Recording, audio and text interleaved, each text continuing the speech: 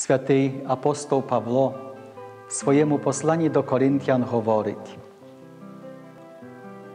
Звіщаю вам, браття, Євангелію, яку я вам благозвістив і яку ви прийняли, в якій і стоїте, якою і спасайтесь, бо я передав вам те, що найперше прийняв, що Христос був умер ради наших гріхів за Писанням, і що Він був похований, і що третього дня Він воскрес за Писанням. На цьому полагає Євангеліє благовіст, добра новина, яку сьогодні святкуємо, таємниця про нове життя, яку Бог відкриває перед нами. Папа Франциск повчає, що Воскресіння це основа християнської віри і надії. Якщо б не було посилання на рай і вічне життя, християнство зводилося б лише до морального вчення, до життєвої філософії. Суть християнської віри натомість походить з неба. Вона об'явлена Богом та виходить за межі цього світу.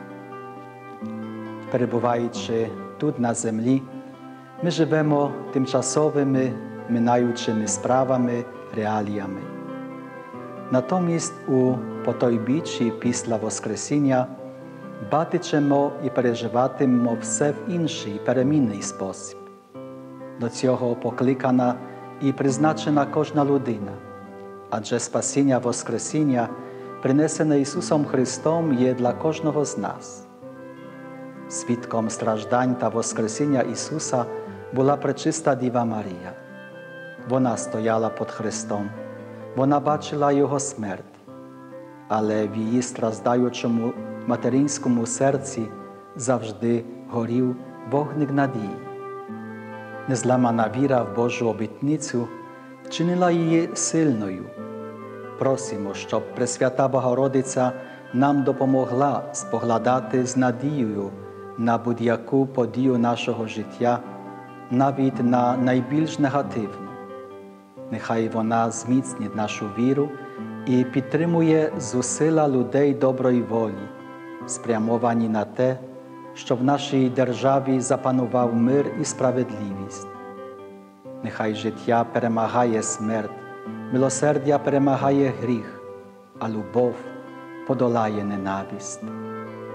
Улюблені у Христі брати і сестри, з нагоди свята Воскресіння Господнього хочу скласти вам побажання благословенного, глибокого і радісного переживання пасхальних тайн.